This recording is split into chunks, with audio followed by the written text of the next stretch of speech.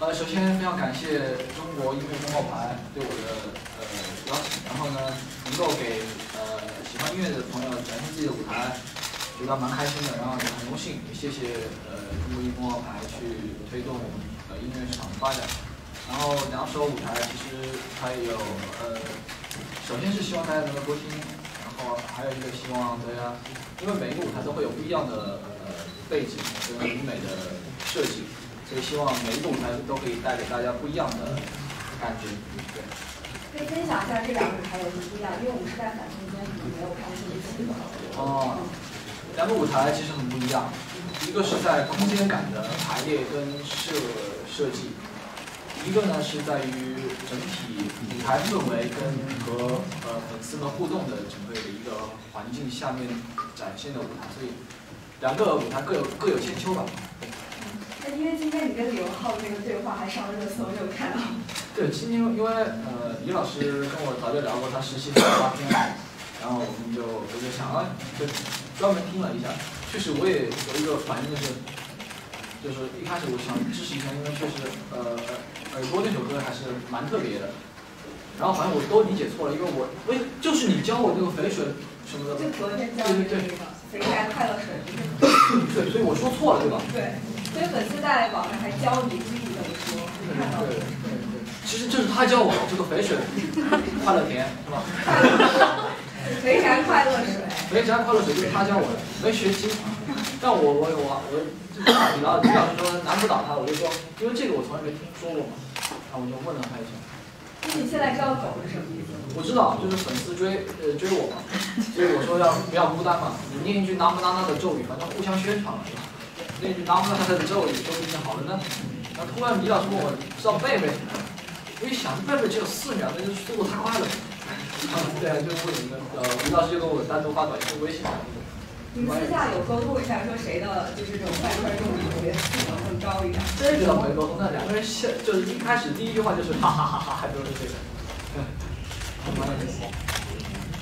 毕竟刚才好像 在台上连跳了三遍，感觉怎么样？呃，首先感谢所有的呃歌迷朋友们的热情，然后谢谢所有的那些呃，包括看不到的幕后工作人员付出的呃这个努力，包括摄像老师啊，工作人员，包括那音片老师，都是所有的。我觉得每一个舞台的成功或者好看，都呃源自于各个方面，所以其实蛮感谢所有工作人员给我这样的一个好的平台，让我去充分的展现自己的音乐跟舞蹈和舞台。嗯，今天十月十九号打个广告吧。十月十九号马上就发票，为什么选这首歌在这个舞台上？这不是还没出来吗？拉不拉的？我这个好说嘛，不不好说的话，我就你们随时打断我哈。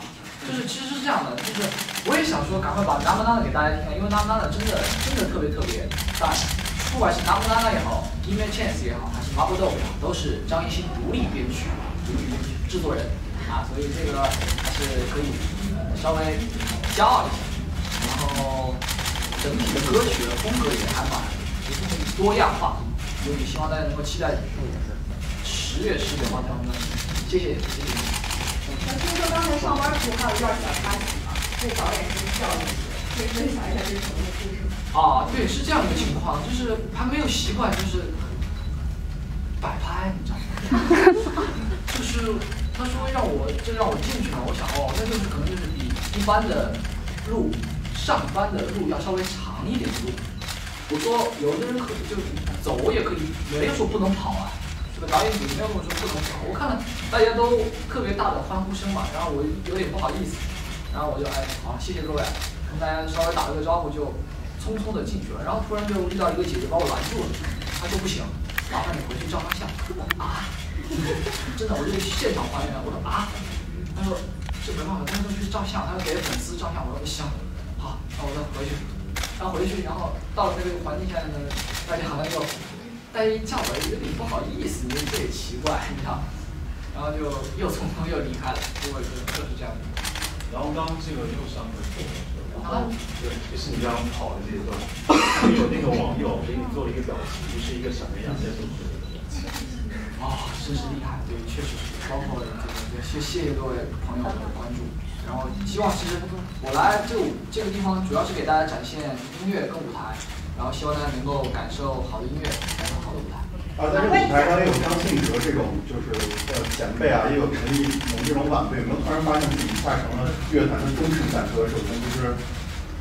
哦，这么说还真是，但是我觉得还蛮开心的，蛮荣幸跟张信哲老师在同一个舞台上面表演。其实还是要感谢这个舞台吧，这个舞台做的这么好，让这么多喜欢音乐的人、热爱音乐的人到这个舞台上来展现自己的魅力，我觉得这个是比较可贵的。而且每个人的魅力都不一样。那跟曾经的像比如说立农啊、还是有什么感觉？因为毕竟当时他还算是。哦，我觉得这是一个娱乐市场发展的一个呃规律吧，就是每一个人都会有。变成前辈的一天，也每个人都会有年轻的时候。那我觉得每个人呃利用好自己的时间，珍惜好自己的时间，为了自己梦想去打拼奋斗，每个人都是可贵的。那像张信哲老师刚才有时候比较羡慕这些年轻人，那你们会羡慕更比你更年轻的他们？呃，我觉得其实呃有，其实我有时候跟自己说，我说如果我再年轻个十岁的话，我有现在所有的实力啊，然后我在年轻的十岁的话，那该多好。但是有的事情就是这样的嘛，就是可能需要时间去沉淀。有的时候需要时间去磨练，所以我觉得都是一个过程。但是对我来说，每一个过程只要感受好了，呃，是精彩的，然后是无悔的，我觉得呃都是可贵的。您说？哦，我问一下您，就是刚才在后台有跟其他的艺人有交流吗？有交流什么吗？像火山少平啊，然后连锁啊、张信哲啊这些朋友，一起打过的人。哦，是上场。啊，还没有上场。对，我是。因为我们这边的两场，所以还没有我们是一人。老师们还没来啊，对吧？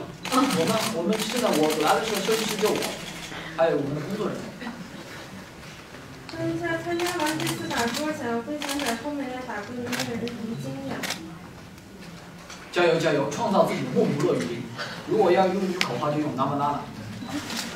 在舞台设计和表现上有什么心得？我其实啊，还是要感谢这次呃中国音乐公告牌的导演吴梅老师。呃，其实我会把我的整体的概念跟设计会跟吴老师沟通，其实他们比我更加专业，包括舞台的整体的调配跟设设备的调试，所以我觉得，首先在尊重彼此的基础上，然后提一些构想跟构思，我觉得是非常好的一次合作，也希望大家喜欢这样的舞台。是这样，无论是那个呃我们的你的综艺作品还是影视作品呢，都非获得了非常高的关注度。但是我知道你是一个非常有追求的音乐人，那你认为一个好的歌曲它有什么样的标准呢？呃，其实歌曲评价维度不一样啊，因为音乐没有正解，我早就在各种采访中说过。但首先呢，第一点就是在传唱度上，我觉得传唱度比较呃比较重要。但是，呃，为了传唱度去放弃一首歌曲的质量，我觉得我的这个个性也做不到。所以，其实我一直在找一个结合点，就是又能够有传唱度，又能够让歌曲的质量拔高，然后还不会还是在这个流行音乐圈子里的这种比较特殊的这样的音乐，所以一直在摸索。嗯，包括跟国外歌手合作，也是在呃一直在聊这块，到底是。呃，在编曲上的加花还是在旋律上的加花，在后后来慢慢的就形成了自己的一种音乐的理念，啊，然后慢慢的发现原来可以音乐还可以这么玩。比方说这张专辑《那么那那》，梦不落雨，就是这样说，你们也听着也是，你看看我，我看看你，也没有实打实的东西。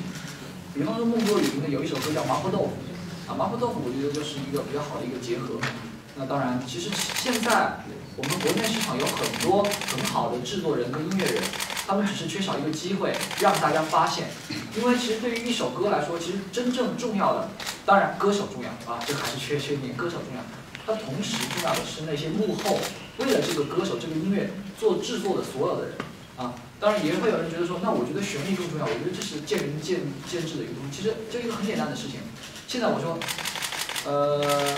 I can get away from you，这个旋律对吗？但你们会会不会因为这个旋律觉得哦，这是首好听的歌呢？不会，一定是要有一个人把这个轨道给它做出来，跟旋律合在一起，你们才才会觉得说这是一首歌曲。所以对我来说的话，其实那些幕后的制作人真的值得大家被大家发现，值得被大家尊重。因为我自己就是做幕后的，我知道做一首歌，做一首歌的编曲需要耗费多少精力。调试多少时间，学习多少年的经验，才能够累积出一首真正优质的歌曲。所以这次我也是呃大胆的尝试了，想说去和呃站在世界的舞台上去检验一下自己的作品。当然，我我说实话，我不知道最后的结果是什么样子，但是对我来说，我是没有后悔的，因为这首歌是我自己做的，我一个人独立完成的编曲，我跟呃所有的呃 top liner 一起制作的旋律，啊、我嗯，如果这场这这这这一场可能不是那么好的成绩，我也会坦然面对啊，这我绝对不会跟大家说啊，我呃做了一个什么样的成绩之类的，但是我会在每一步能够得到一点点的呃不一样的成绩的时候，我会感谢所有在那个时间段就帮助我或者支持我的人。然后我希望对于我来说，拿不拿的这张专辑，我已经用了我最大的诚意跟用心做了，然后剩下的就交给你们去感受了。还有两天，好，各位，我们因为待会儿接下来还有别的安排，我们在最后问一个问题，好不好？辛苦各位啊！最后一个问题，真的还有吗？都都 OK 了是吗？好，行，谢谢各位。辛苦各位，哎。不用照相了，不用了。好，谢谢。谢谢。